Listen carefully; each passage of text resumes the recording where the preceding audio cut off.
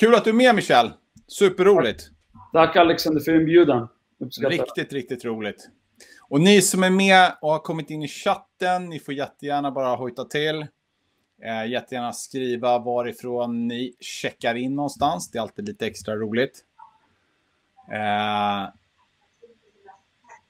det är alltid lite extra kul. Och eh, var är du någonstans nu idag, Michel? Nu är jag i min lägenhet eh, och eh, de håller på att städa lite. som ni hör lite störande, bara säga till. Men jag gillar sånt. Du är hemma hos dig och jag är hemma hos mig. Så är det. Så är det. Man, man gör det bästa av, eh, av eh, situationen. Yes. Ja, så att eh, det, det är super, super kul.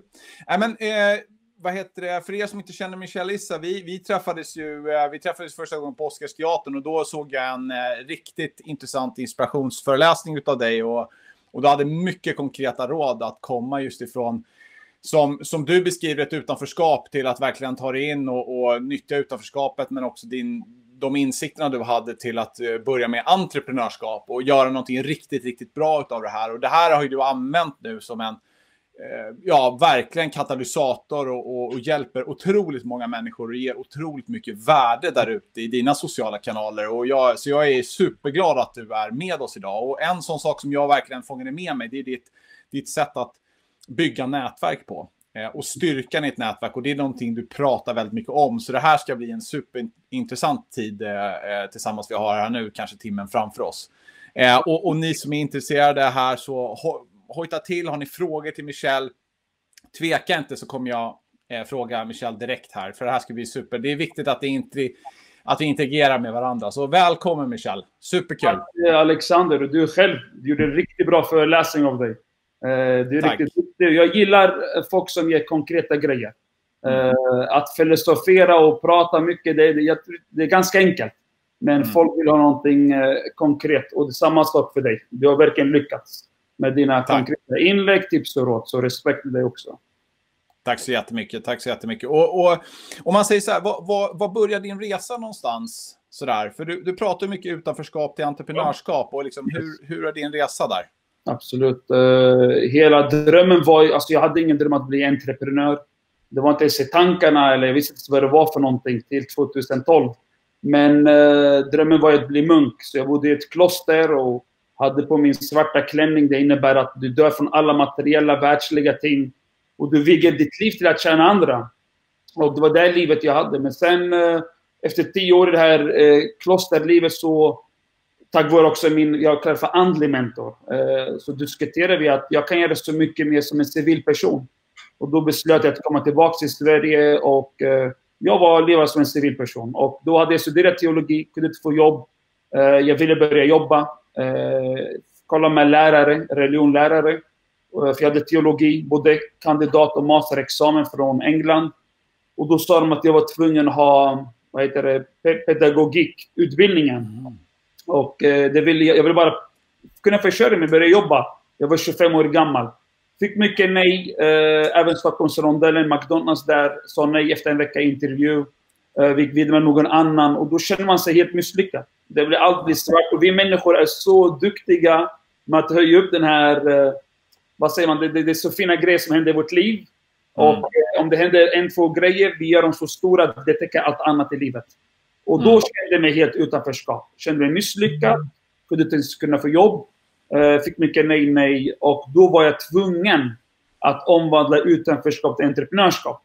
Om ingen anställer mig, om jag inte kan få jobb utifrån min utbildning, då måste jag ta mitt nästa steg själv. Och mm. eh, det var där, utifrån mina erfarenheter, varför jag alltid poängterar Sluta komplicera det, försvåra. Du kommer lära dig under resan. Och det var så det hände med mig. Så då öppnade jag första grejen och jag började växa och fick lära mig ganska... Vad var det, vad var det, för, vad var det för första grej du började med där? Alltså vad var det? Hela, det, jag började med någonting som var ideellt i början. Eh, det var att jag var ju aktiv sedan barndomen med ideella verksamheter. Olika föreningar, eh, organisationer.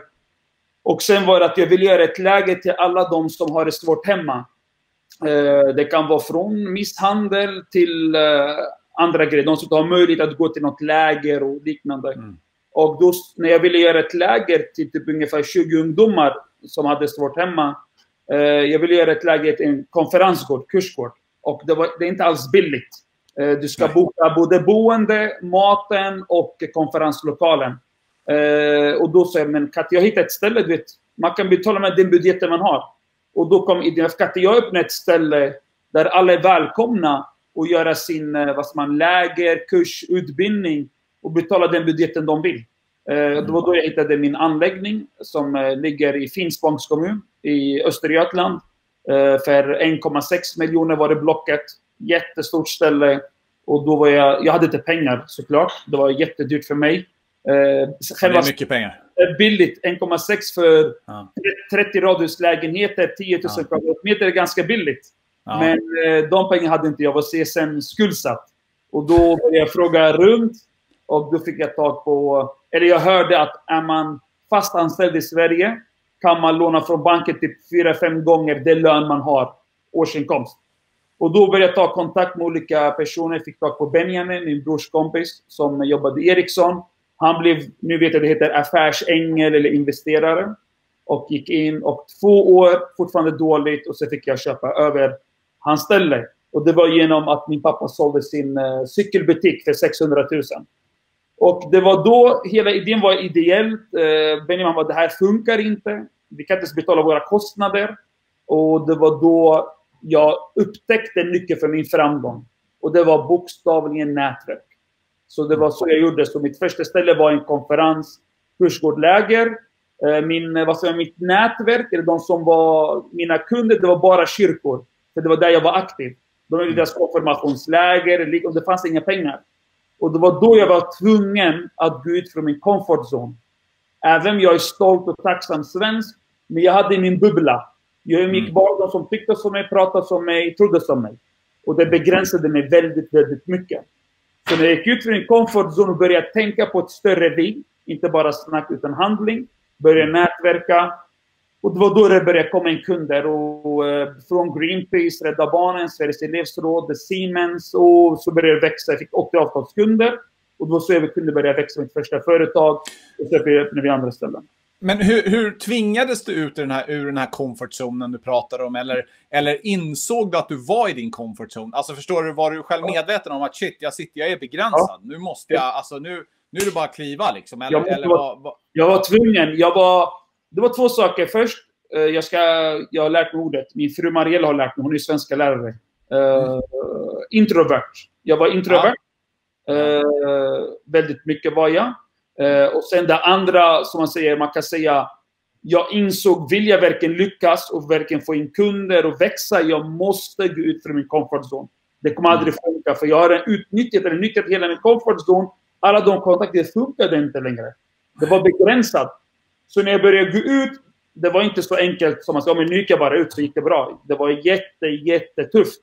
För att jag, var med, jag blev medlem i något som heter GIOS. The Young Entrepreneurs of Sweden. Väldigt bra ja. nätverk jag har respekt för. Och så gick jag dit, blev medlem och så ska jag träffa andra entreprenörer. Jag kände mig riktigt så här, vad jag håller på med. Jag gick och, för jag gick rakt på sak och sa hej, jag heter Michel och jag såg tyvärr, inte bara det, jag gick till Founders Alliance, det med ännu mer etablerad eh, företagare. Men hur som helst, jag gick ut olika nätverk. Jag såg på galor, events, hur mycket vi dömde varandra utifrån dina röda siffror, om det inte går så bra. Eller vem mm. du är som person. Vem är dina kontakter? Så tänkte jag som inte kände någon. Inget speciellt med företag. Det var bokstavligen, jag fick mycket, mycket nej och diss. Och problemet är att jag tog det väldigt personligt. Alltså jag blev mm. lite ledsen och det var ganska tufft.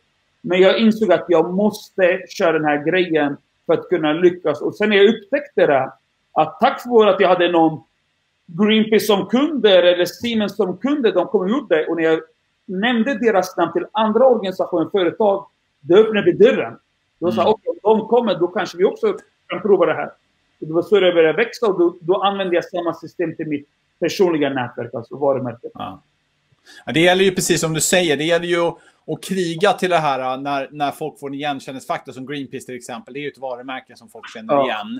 Och där finns ju en viss som man kallar social proof. Eller liksom att man, att man förstår att har du varit där, ja men okej, då förstår man att då har du kommit en viss väg. Och då, då skulle du kunna också vara accepterad även här. Och det, men det är att komma till Greenpeace. Det är att ni som sitter här och, och lyssnar och pratar, ställ gärna frågor om ni har frågor här nu så ska vi passa på.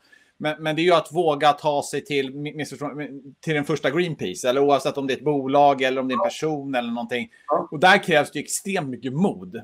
Just. Eh, om man är introvert, det är klart att det är enkelt om man är kanske då extrovert, alltså det vill säga man gillar att prata med människor, liksom random människor överallt på stan. Men, men många tycker även att det är jobbigt. Jag skulle säga att i vissa lägen är jag introvert i vissa grejer, med, med andra tillfällen så är jag extrovert. Men, men, men det krävs ju mod. Det krävs ju mod att gå fram. Jag vet att du gjorde några exempel. Vem var det som en av de första som exploderade på, på sociala medier? Vem var det du gick fram och bara hej för att ta en bild med dig? Vem var det? Ah, eh, det var, jag, det var flera. Men ja, men det var första, Marcus, det var en kvinna va? Marcus Wallenberg, Antonia Axon. Ah, ah, precis, Antonia var det ja. ja. ja. Du, bara gick, vad, berätta om det, för det är också en sån här grej som är så här... För att, för att du vet, du vet uh, det som du säger att man ska nå och sen får man eh, ett, som en kund som har ett väl, väletablerat namn så öppnar det fler dörrar. Samma sak är det i våra personliga kontakter. Alltså, jag lovar, jag menar helt, jag, jag är en stark, stark bevis att de seriösa människor, inte wannabe, de seriösa människor som, som tänker långsiktigt, det sista de tänker på hur mycket pengar du har och vad för utbildning. Det de är mest intresserade av, vad jag har upptäckt, det är vem känner du, vem känner dig, hur känner ni varandra? Nätverk. Har du bra nätverk, det öppnar så många dörrar. Från att få utmärkelser, från att få kunder, från att få eh, vad en du önskar. Så det är där jag har satsat mycket på. Så när jag upptäckte att det här var riktigt wow, alltså har du bra nätverk öppnar många dörrar. Och då var det, vet du vad? Jag ska börja nätverka. Och sen lärde jag mig så det var inte så enkelt som, man, som jag ska bara snacka om. Var, jag bara körde på. Det var väldigt tufft. Mycket, man blir ibland sårad, ledsen. Man börjar underskatta sig. Men när man börjar se eller upptäcka, wow, nätet öppnar verkligen dörren, då kör man hårt. Så Antonia Axon, det jag gjorde var i november eh, 2013. Då hade det gått ungefär ett och ett halvt år där jag höll på att nätverka. Jag blev duktigare. Och så var hon i ett event där jag var bjuden. Och eh, hon var en gästföreläsare. Eh, och Antonia Axon, ni som inte vet vem det är, för jag brukar föreläsa, många känner inte till henne, det är det som är sorgligt. Skulle jag säga en Paradise-deltagare i hotell, då skulle man veta vem det är. Hon en, är en, en, en viktig förebild i vårt näringsliv.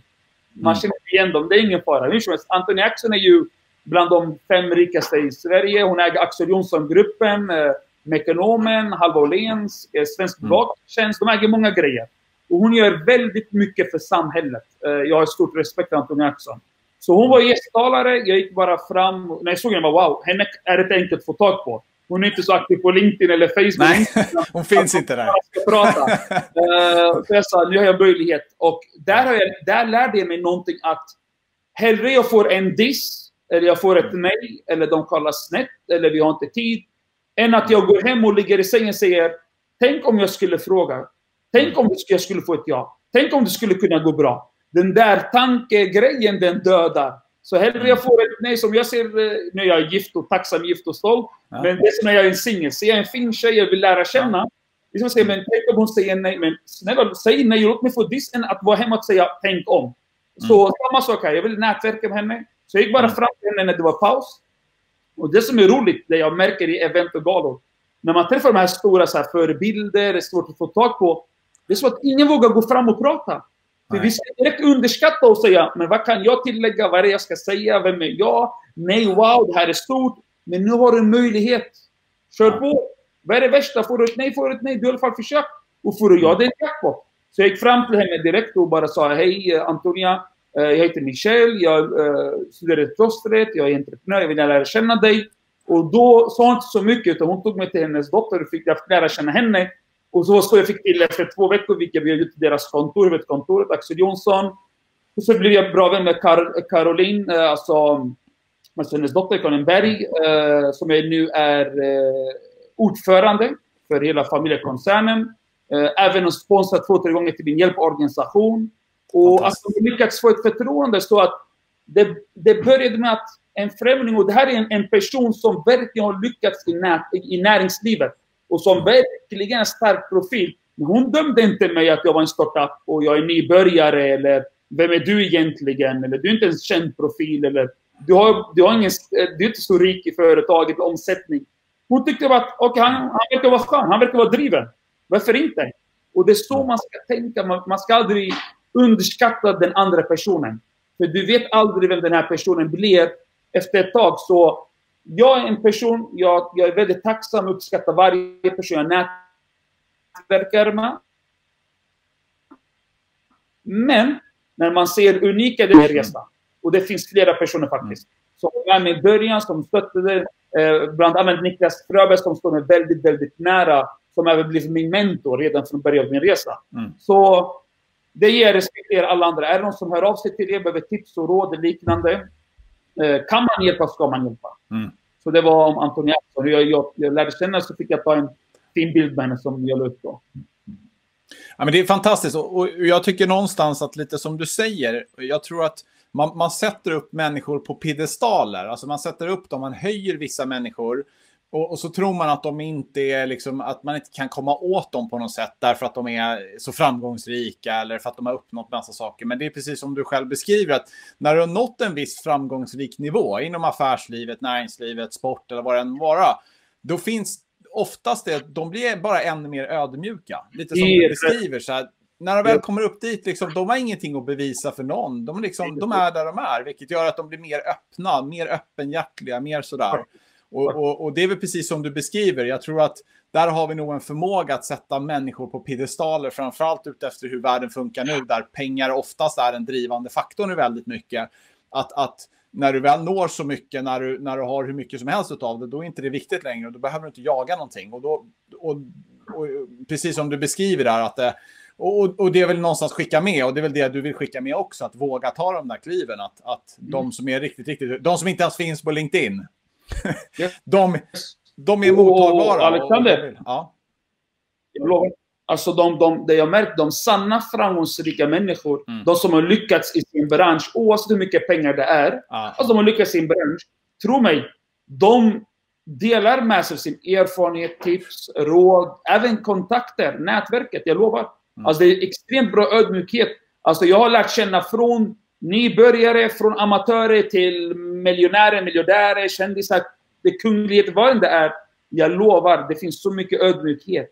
Och ja. ser man någon, gå bara fram och nätverka. Jag, lovar, jag det, det är enklare än de här nybörjarna. De här som är riktigt wannabe som, ja men nu går det bra för det går inte att prata med dem. Det är som, hallå, jag går till entreprenörsgala, därför jag har lugnat ner mig lite. Men när jag går till entreprenörsgala så skulle jag nätverka. Jag säger, det är som att alla är Bill Gates. Det är så att alla säger, vad är det som händer? Hallå, vi är människor. Vi alla har svåra stunder. Låt oss nätverka, prata lite. Så det jag kommer fram till slutändan, är det nätverk, det handlar mycket, mycket också om att ge och få. Speciellt i karriärsvärlden. För att det finns också många människor, även på LinkedIn, som är extremt, extremt generösa och snälla. Och de vill bara hjälpa och hjälpa och höja upp andra. Mycket bra!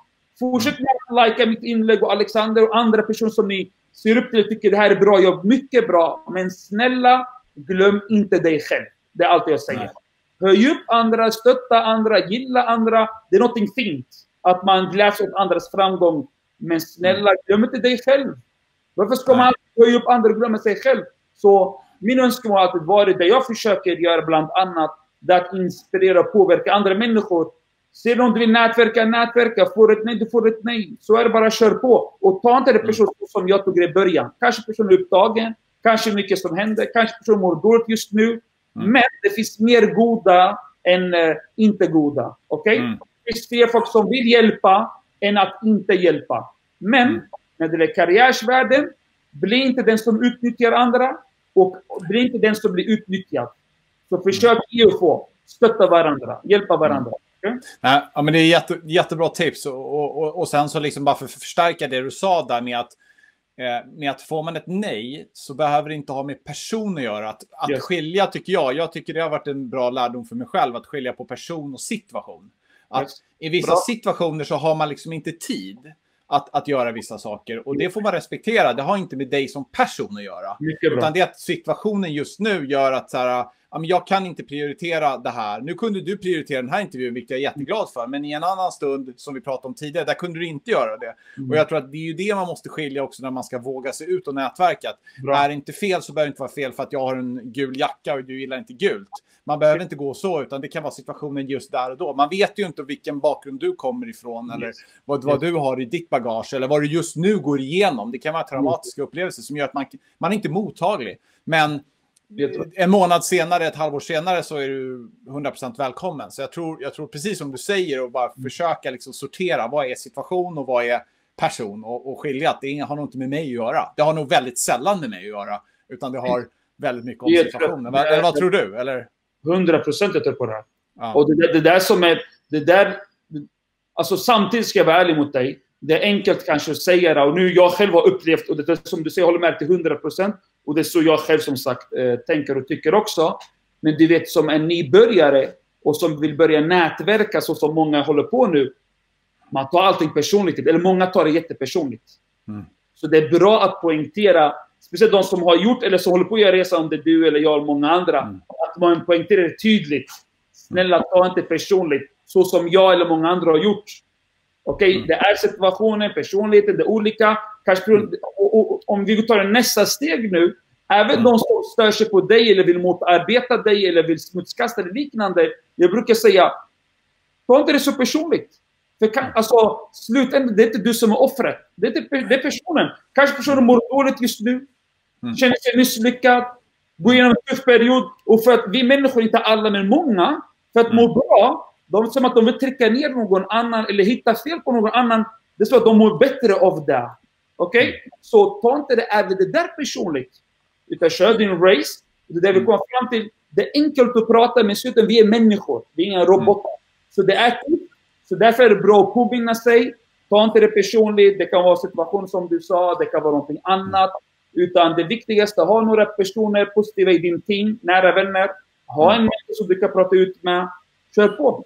Så... Och, där är du inne på någonting också som är superspännande, Michel. Och det här är jag ju, jag menar, jag har ju läst hur mycket personutvecklingsböcker. Jag har nog läst en 100-150-tal genom åren här olika. Och nu börjar det nästan bli så att man börjar se ett mönster i att det finns inte så mycket mer personutveckling som, som finns där. Utan du har du läst en hundratal böcker så har du ungefär greppat konceptet. Men det finns en sak där som du nämner där som jag tycker jag vill verkligen förstärka. Och det är vilka du umgås med. Alltså de, de närmsta fem, du blir ett genomsnitt av de fem personerna du umgås. Vill du bli entreprenör, um, umgås med entreprenörer. Vill du bli säljare, umgås med säljare. Vill du bli hockeyspelare, umgås med hockeyspelare. Alltså det, egentligen så är det inte så svårt. Du vill ha ett negativt eh. liv, eh, ha negativa människor som ser bara fel allt och bara klagar på allt. Exakt, exakt, exakt. Ja. Men, men jag tror att man måste välja där med, med på guldvåg och, och, och, och, våga välja de människorna man har runt omkring sig. man föder sin hjärna med. Liksom. 100 procent. För, att, mm. för att du vet, din vän eller den du umgås med mm. kan göra din dröm till en mardröm och kan göra en dröm mer förverkligad, stötta dig, uppmuntra dig. Eller säger man, snälla ska du göra det här? Hur tänker du? Men du kommer aldrig klara det här. Det är så mycket som händer. Det är corona nu. Vem gör det här? Och så finns som säger, oh, det är bra möjlighet nu. Gör det här, satsa på det här. Nu är nätverkande bra, sociala kanaler är bra. Så dina vänner, 100 procent, jag tror på det du säger. Mm. Att det, det mm. påverkar dig mer än vad du anar, både medvetet och omedvetet. Mm. Och nu är det många som så här, eh, ja, på grund av corona och covid-19 så är det väldigt många som nu måste se sig om på nytt. Alltså som har suttit ganska säkra i säkra anställningar och så vidare. Och alla vill inte bli entreprenörer, men, men, men, man vill hitta sig. Och jag tror många nu är ute och söker. Om man nu är arbetssökande eller man är det här, vad, vad, vad har du för tips att börja? För det handlar ju om, vi pratar ju om mod, det handlar om att ta de här första stegen, det handlar om att våga, det handlar om att våga fråga och så yes. Men har du några konkreta tips Absolut. nu till de som faktiskt sitter där ute som vi kan alltså, jag, jag, jag, med? Som du vet Alexander, som jag hoppas många uppmärkt, eller upptäckt, det är att ja, jag har ju eh, lagt mycket tid på det här arbetssökande. Speciellt eh, efter det här corona. Eh, mm. Där jag försöker lägga tid att både hjälpa och inspirera, både genom mitt nät men även ge konkret. Det jag ofta, eller många gånger poängterar tydligt, är att även om du har den perfekta CV eller erfarenhet och du skickar det kommer alltid, eller inte alltid, men det mesta gånger kommer det finnas en person framför dig. Det är nätverkaren. Det är han eller hon som känner ägaren, medarbetaren, någon som är det som kan ge referens etc. Jag lovar, de har mycket, mycket större möjlighet att få jobbet. Så enkelt är det. Tycker du det är orättvist eller inte? Tyvärr. Jag känner många arbetsgivare, många ägare och de, de har lediga tjänster så anställer de någon som de kanske redan känner eller någon medarbetare som rekommenderat trots att det finns några andra som har jättebra CV. Så mm. det vi kommer fram till att okej, okay, nu man vet det här reality, för ingen kan ignorera det. Då ska man vara lite mer kreativ än att göra de här vanliga grejerna, att bara skicka CV och säga men hallå, de svaret på min CV. Jag får bara ett nej. Det räcker mm. inte att skicka bara CV. Det räcker inte att bara skriva i nätverkstrådar som blivit för mycket nu på LinkedIn. Alla gör nätverkstrådar, vilket är jättebra.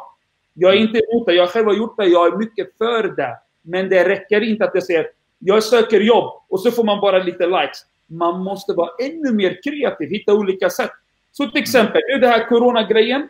Den ger det bästa möjliga eh, vad man, skäl eller orsak till att ha så många eh, fika som möjligt utan att du stör. Det är genom eh, Zoom-fika, webinar-fika till exempel. Du behöver inte lägga pengar på transport, du skickar till någon, börja nätverka. På LinkedIn, det är så, det, jag älskar plattformen LinkedIn. Det, det, det, det är så bästa plattformen. Jag har varit extremt aktiv på Instagram, Facebook. Nu hela min fokus har varit på LinkedIn för jag, det är så bra konkreta grejer. Allt är så öppet, det är så tydligt. Så det finns saker som håller på att förbättras nu. LinkedIn går upp och ner. Det där, vad heter man, Alugutarim. Al uh, Jag tror de håller på att ändra saker till att se hur det blir där. Men hur som helst, det är mycket öppet. Du vet vad personen jobbar, vad är det för erfarenheter, vad är det exakt. Du kan skicka en kontakt. De flesta på LinkedIn, de älskar nätverk, de tror på nätverk. Du addar, de lägger till det, bryt i sig, mejla, ha kontakt. Gör levande kontakter, inte bara statykontakter. Så det, det, skulle jag säga. Så att om du bygger upp sånt och du bygger ett förtroende och sen genom dina inlägg du visar dina värderingar. Jag lovar du får mycket, mycket större chans att få jobbet. Eh, det är bland annat jag skulle rekommendera att satsa ner på nätverket, varumärket, höja upp sig. Eh, jag har ju mitt mentorsprogram, där satsar jag typ 90% på personens varumärke och nätverk. För det spelar ingen roll om du är arbetslös, anställd eller företag och du vill hitta ett nytt uppdrag, en ny tjänst, nya, sälja eh, produkter, eh, eh tjänster, vad det är. Mm. Sociala medier eller sociala värden, det är, det är en värld. Lyckas du i den världen i sociala medier, du kan göra så mycket. Sälja produkter, tjänster, hitta uppdrag, hitta arbete, erbjuda, investera vad du vill. Så det gäller att veta att förstärka varumärket, nätverket. Det kommer hjälpa dig så, så mycket mer. Uh, det var lite snabba tips. Så är jag andra grejer, men det ska inte jag mm. prata för mycket nu. Men hur som helst. Mm. Men mm, är, det är jättebra. Någon annan, förlåt Alex, är det någon som är besökande just nu kanske vill höra av sig? Bara du hör av dig. Jag är ingen alls specialist på rekryterare. Jag finns hundra, tusentals som är bättre än mig. Eh, jag har inte ens rekryteringsföretag. Det enda jag har, jag och min fru, något som heter connectingpeople.se. Det är en idérekryteringsorganisation. Mm, det enda vi gör, man hör av sig CV. Jag tar deras profil, skickar till mitt nätverk, olika företagare och jag frågar, är det någon som är i behov av det här? Och de har ju ett förtroende för mig. Och sen har jag pratat med personen, jag länkar och så går det bra, går det bra, går det inte bra, går det inte bra. Och det är inte alltid jag länkar. Utan många gånger går det inte ens länka. Men det mm. bästa, det viktigaste, jag, jag gör det jag kan. Mm. Ja, det är fantastiskt. Det är ett fantastiskt initiativ där. Eh, och vad, vad hette den där? Kan du repetera eh, eh adressen igen? Connectingpeople.se utan G. Connect. Connect, connect, sen som LinkedIn. Så connect, ja, connect in. Ja, connectingpeople.se. Snyggt. Ja, jätte, jättebra. Nej, men det, det, är ju fantastiska tips och, och jag tror bara, här, precis som du är inne på och som du berättar om här, riktigt bra tips, just att det är många som sitter nu osäkra. Det krävs mycket mod. Eh, vi, vi hör allt ifrån corona som slår och, och, mot mänskligheten, ekonomin som går ner och så vidare, att vi blir rätt mycket passiva och där gäller det ju, precis som du kände en, en stund eh, när du hade utanförskapet och klev in i entreprenörskap. Det gäller att ta tag. Entreprenörskap handlar ju om att du själv är liksom, du är inte nöjd med situationen, du börjar själv göra. Trots att du inte har, det är, det är ingen som kommer klappa dig på axeln, utan du får göra det själv. Liksom. Och det är, mm. jag tror att många där ute måste precis ta de här råden som du gav nu och börja agera utifrån dem. Eh, det tror jag absolut. Det är en, det, att sitta ner nu och, och sitta i sin comfort zone tror jag, blir, tror jag kommer bli farligt. Jag tror det kommer bli en passivitet. Jag tror att vi, eh, arbetsgivare också höjer ju ribban hela tiden för, för, för vilka som, som eh, ja, man vill ha in på ett bolag. För man vill inte ha passiva människor, man vill ha aktiva människor som vågar och vågar utmana och vågar vara med och, och ställa om. Liksom. Nej, men det är fantastiskt. Eh, yes. Om man, om man, säger så här, finns det något annat som du skulle vilja dela? Eller, eller du kör en del Zoom-möten och så här. Är det via Connecting People eller gör du andra sådana här? Du sa att du kör dina personliga coachnings... Ja, jag har ju mitt mentorsprogram. Mentorsprogrammet, där okay. jag, har ungefär, jag har ungefär 20-30 personer som jag vad säger man, lägger mycket tid på. Det varje år. Mm. Uh, och sen det här Zoom-mötet, det, det, är under den här coronaperioden. Mm. Du bjuder in också, som du gör, bjuder in olika gästföreläsare som delar med sig tips, tips och råd. Uh, det där gör jag bara mer uh, en ideell grej alltså. Mm. Sen att man gör olika grejer. Jag, under den här corona såklart, det har påverkat många människor. Men det jag har satsat inom corona, det är ju den här primära drivkraften som jag alltid har sagt även innan corona. Uh, även om det går bra för mig eller dåligt, så är den här drivkraften viktigast. Det är att kunna vara orsak för någon annans lycka. Kan jag mm. hjälpa någon annan vill jag hjälpa. Så det jag har satsat inom coronatiden, det har varit uh, att inspirera andra genom Zoom-stunderna. Eh, det har varit eh, arbetssökande inom Connecting People och sen var det matlådor till eh, sjukhus. Vi lyckades över 4000 matlådor till 14 olika sjukhus runt i Sverige. Så det, det, har vi gjort under den här tiden. ja, så det var jag gjort, ja. om du frågar. Ja, och det är ju fantastiskt. Du har verkligen sett situationen, du har sett problemet, utmaningarna och agerat. Och det är det som, det är det som gör att man blir inspirerad av att vara i och omkring där du är. Men det är ju så många andra som skulle kunna vara där också. Det handlar bara om att göra. Det handlar om att våga se ut. Det behöver inte bli perfekt. Eh, det behöver inte bli 5000 matlådor för att känna sig lyckad. 4000 räcker, 3000 räcker, 2000, 200 räcker. Om man Bra. fortfarande agerar. Det tar, tar de här första kliven. Och där har du verkligen gett inspiration. Liksom. Tack så mycket. Eh, och där skickar ni, Ella skickar stort tack för inspiration. Tacksam för att ta del av bådas erfarenheter. Det är jättekul. Det är super, super roligt ni som är med i chatten också. Eh, så vad, vad händer nu inför hösten, Michel? Vad, vad är, är, på ditt eh, bord inför hösten nu och, och lite sånt här? Hur tänker du nu när vi är mitt uppe under... Många pratar ju så här före och efter corona. Jag tror inte att det finns det nu, utan jag tror att det finns att vi kommer leva under. Vi kommer leva med det här och, och liksom någonstans där. Hur är ditt mindset inför hösten nu? Vad, Uh, Vad tänker du?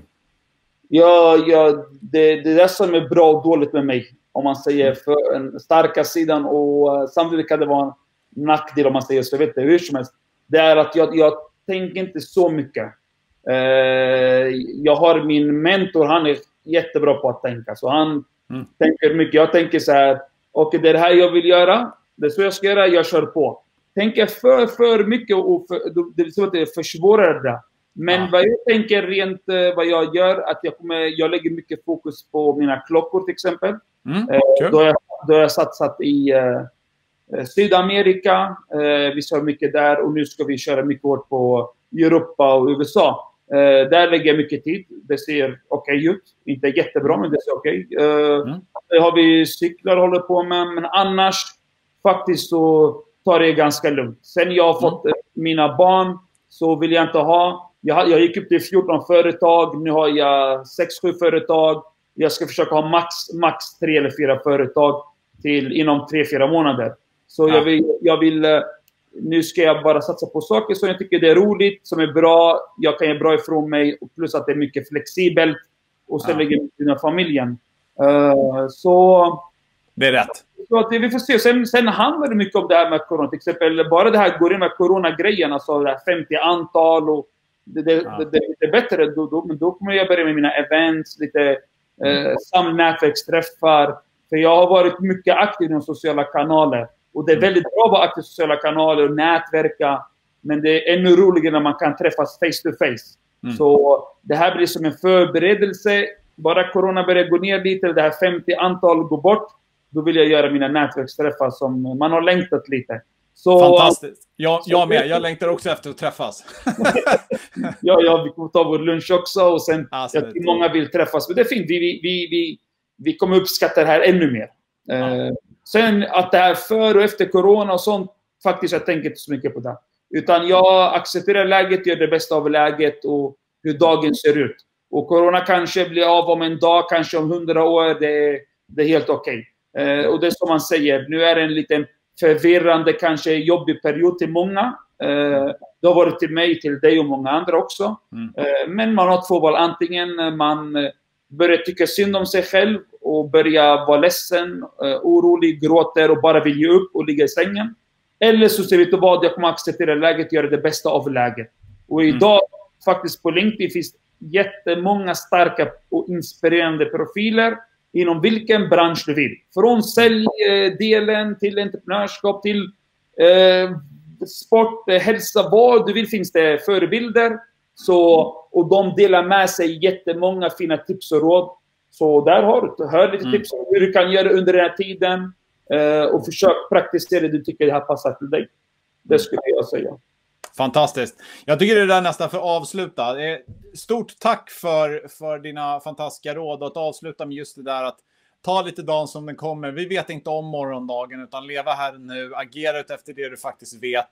Resten får man bara förhålla sig till. Det tycker jag det var en bra, riktigt bra avslutning. Och, och som jag alltid säger, snälla, snälla komplicera och försvåra inte. Som Nike säger slogan, just do it. Du kommer lära dig under tiden, jag lovar. Vill du mm. nätverka med någon främling, nätverka. Dissa han eller inte, eller hon dissar, spelar ingen roll. Nätverka. Uh, gå ut, försvåra inte. Du kommer lära dig. Vill du fråga om tips fråga 10 pers. Även om någon säger nej eller de inte svarar, ta inte det personligt. Det som mm. både jag och Alexander sa, det kan vara situationen. Ta inte det personligt som person. Men om du frågar 11 eller 12, då, då kanske de har tid. Så mm. det viktiga snälla komplicera, försvåra inte, underskatta till dig själv. Eh, kör på och är det någonting jag kan hjälpa Alexander, då mm. bör vi kunna hjälpa med det vi kan. Okej? Okay? Mm. Tack Alexander för inbjudan. Eh, jag uppskattar inbjudan. Stort tack Michel. Eh, vad hittar man dig om man vill veta mer? Det är LinkedIn förstår jag. Eh, det är olika kanaler. Det är bara att höra av sig på LinkedIn, eh, mm. Instagram, det var hemsidan, men det är på LinkedIn. Ja, det finns överallt. Det går, det går, inte att missa dig. det är bara mejla mig så, så har vi kontakt med varandra. Ja, det, det är skitbra. Du, eh, Michel, eh, supertack för det här. Supertack för att ni kom och tittade på det här. Så hörs vi snart igen. Trevlig sommar på dig. Detsamma. Vi hörs. Ha det gött. Hej. Hej.